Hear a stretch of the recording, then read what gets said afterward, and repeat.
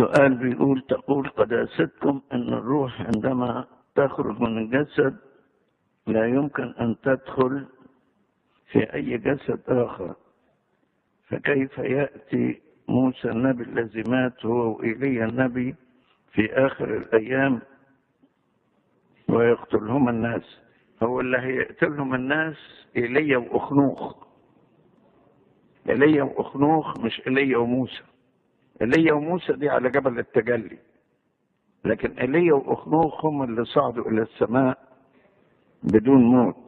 فدول ما ماتوش. بيقول بالرغم إن موسى قد مات. لا موسى مش هيجي في آخر الزمان. لا هو صاحب السؤال غلط صدق.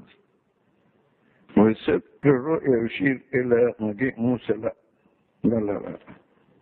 ايليا وأخنوخ. يعني موسى بعد ما مات عايز يجوا تاني يموت تاني.